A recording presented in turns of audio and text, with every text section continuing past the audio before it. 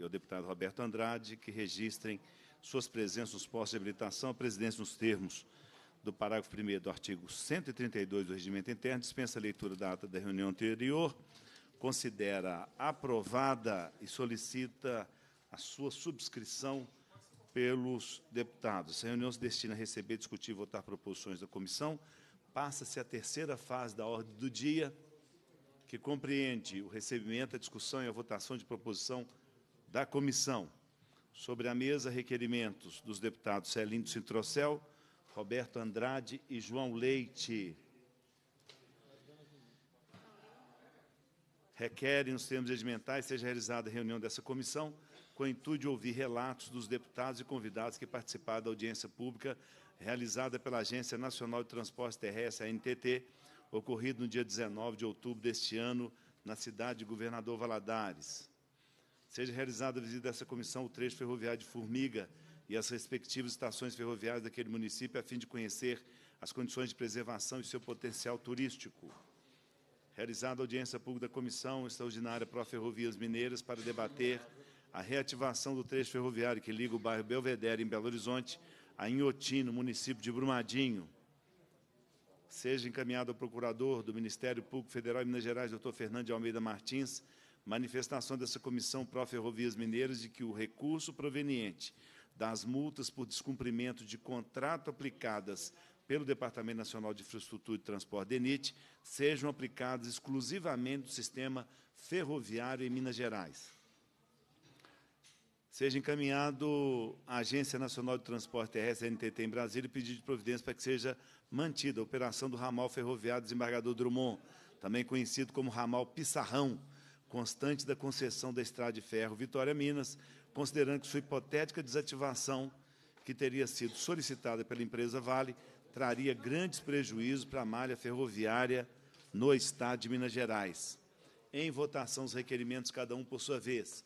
Os senhores deputados que os aprovam permaneçam como se encontram. Estão aprovados os requerimentos. Apenas uma informação aos deputados da audiência ocorrida em Governador Valadares e que foi acompanhada pelo deputado Bonifácio Mourão e pela deputada Celise Laviola. As informações é, é, dão conta que é, a NTT continua no seu intento de realizar a antecipação da renovação da concessão ferroviária. O entendimento de muitos que participaram e alguns especialistas é de que o pedido que foi feito na audiência para que se tenha um trem noturno de Vitória a Belo Horizonte é, entendem é, que o, o, contrato, a antecipação da renovação, retiraria, para além da possibilidade de ter um trem noturno, o trem de passageiros existente hoje. Então, realmente, nós temos que ter uma posição muito firme em relação a essa antecipação da renovação da concessão ferroviária, já que não sentimos nenhum interesse da NTT e do governo federal em é, ampliar o atendimento à população das nossas cidades, e aí incluindo o Vale, é, nosso Vale do Aço, do nosso Celim do Sintrocel, em atender os pedidos daquela população. É importante também dizer que, recentemente, nós tivemos o indiciamento do presidente da República, mais 12 pessoas, por conta da antecipação da renovação da concessão do Porto de Santos por mais 70 anos. E, nesse momento, então, o presidente está indiciado. E nós vemos a intenção desse governo federal, que está indiciado nesse momento, de antecipar a renovação da concessão ferroviária Vitória Minas e Belo Horizonte, Rio de Janeiro, por mais 40 anos. Portanto, é muito importante o trabalho da Assembleia Legislativa, desta comissão, em defesa de Minas Gerais. Passo a palavra para a sua declaração de voto ao deputado Celindo Sintrocel. Presidente, eu gostaria de aprovar os requerimentos, mas, na mesma linha, eu gostaria aqui de reforçar, mais uma vez, a pauta de reivindicação, tanto que o Vale do Aço, que o Vale do Rio Doce, faz a essas concessionárias que estão aí participando desse processo de renovação de concessão, da importância dos investimentos para Minas Gerais.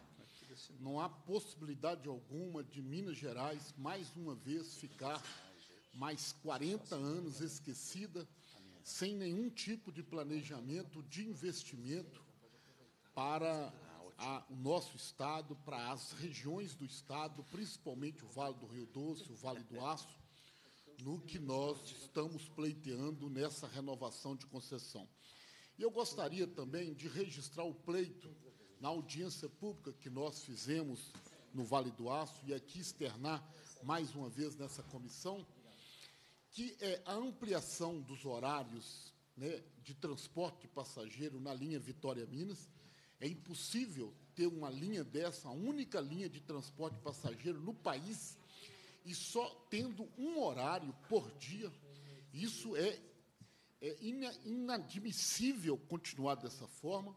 E naquela audiência nós registramos para que a Vale possa sensibilizar com pleito de garantir ampliação de novos horários de transporte passageiro no que refere-se à linha Vitória-Minas, Vitória a BH. Não podendo ser muitos horários de um estado para o outro, mas que a gente pudesse fazer ela de forma intermunicipal, Belo Horizonte, Vale do Aço, Belo Horizonte, Governador Valadares e assim por diante, que vai ajudar muito para a gente poder tirar mais veículos do sistema de rodovia, que é a questão da 381, e ajudar também na sua duplicação. Também fizemos registro na construção de um terminal de carga para o Vale do Aço, uma região importante, onde ali nós temos ali grandes polos siderúrgicos, que é a questão da Usiminas, a questão da Peran, a questão da Celibra, e nós precisamos de um terminal de carga, de contêiner, ali no Vale do Aço. E, mais uma vez, a nossa reivindicação foi registrada também naquela audiência. E, por último, uma construção de um túnel, passagem, em Patinga, Santana do Paraíso, que dá acesso hoje ao aeroporto de Patinga e que hoje passamos para poder acessar o aeroporto em cima da linha férrea, porque não tem um túnel, não tem uma passagem própria. E isso trazendo risco de acidente, atraso de horários, perda de, de voos em função desse sistema ainda precário. Então, eu gostaria de parabenizá-lo, mas, ao mesmo tempo, deixar também registrado mais uma vez: nós não somos contra nenhum tipo de concessão, mas fazer concessão que só ajude a Vale, nosso Estado, nessa concessão do governo federal para mais 40 anos das linhas férreas do nosso Brasil. Muito obrigado, presidente. Muito bem, deputado Celino Sintrocel. É importante lembrarmos que, depois de 20 anos de concessão, não ter feito ainda passagem de nível para o aeroporto de Ipatinga é inaceitável. Como que querem agora renovar por mais 40 anos e o retorno que querem dar é fazer uma obra de conflito urbano que deveria ter sido feita já há muito tempo. Está cumprida a finalidade da reunião, a presidência agradece a presença dos parlamentares, convoca os membros para a próxima reunião ordinária, determina a